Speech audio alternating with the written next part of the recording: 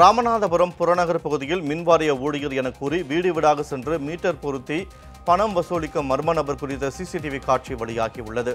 ஆனால் இதுபோன்ற மீட்டர் பொருத்தும் பணிக்கு ஊழியர்கள் யாரும் பணியமர்த்தப்படவில்லை என்றும் எனவே பொதுமக்கள் உஷாராக இருக்க வேண்டும் என்றும் மின்வாரியம் எச்சரிக்கை விடுத்துள்ளது. இதனிடையே பட்டினம் காத்தான் பகுதியைச் சேர்ந்த மர்ம நபர் ஒருவர் தான் இதுபோன்ற செயலில் ஈடுபட்டுள்ளதாக கூறி மின்சார வாரிய சிசிடிவி காட்சிகளை வெளியிட்டுள்ளது.